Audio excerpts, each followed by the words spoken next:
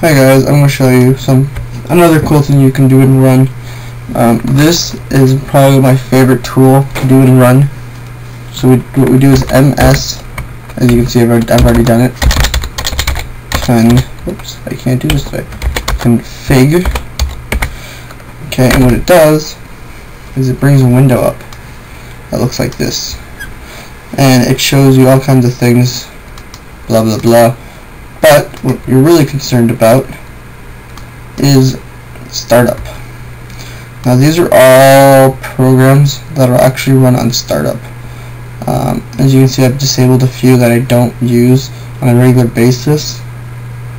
But yeah, um, this actually can make your startup a lot faster and make you run less processes or process yeah processes. Um, because some programs you don't actually use.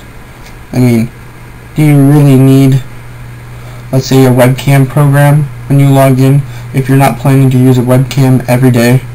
Because I know I don't use my webcam every day. Um, so this is one way to to speed up your computer by not and saving you time and because uh, startup will be a lot faster. Um, you just got to be careful. Don't uncheck anything you don't know what it is because you could be unchecking a Windows file. And if you do that um, you cannot start up Windows which is a big issue. Of course you know. So uh, only do files that you actually know exactly what they are. So you know use that own risk